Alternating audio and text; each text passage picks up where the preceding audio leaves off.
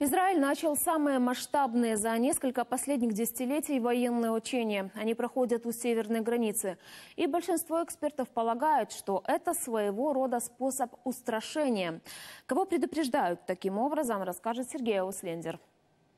Гражданских предупредили заранее, без крайней необходимости в определенные районы не заезжать. На голландских высотах круглые сутки гремит канонада.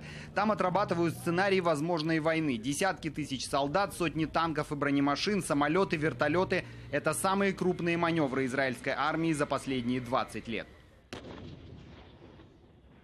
По замыслу учений со стороны Ливана и Сирии началось вторжение террористов. На границе захвачен крупный поселок, много убитых и заложников. Террористы при поддержке Ирана запускают по израильской территории тысячи ракет. На границе идет ожесточенное сражение. Армия сначала должна отразить нападение. Есть э, угрозы.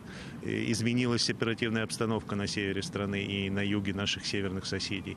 Поэтому, естественно, и мы должны быть к этому готовы. И поэтому а, разные подразделения ЦАЛа проходят слаживание и готовятся к разным сценариям.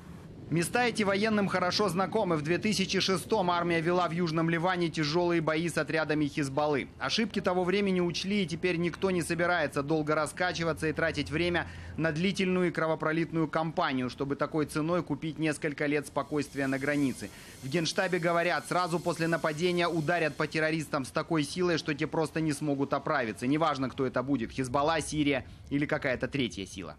Главное беспокойство у израильского руководства вызывает растущая экспансия Ирана в Сирию и Ливан. Там с помощью иранских специалистов строят заводы по производству ракет. Так что самые масштабные за последние 20 лет учения – это недвусмысленное предупреждение Тегерану, что Израиль не будет спокойно смотреть, как он вооружает его врагов. Сергей Услендер, подробности, Ближневосточное бюро, телеканала «Интер».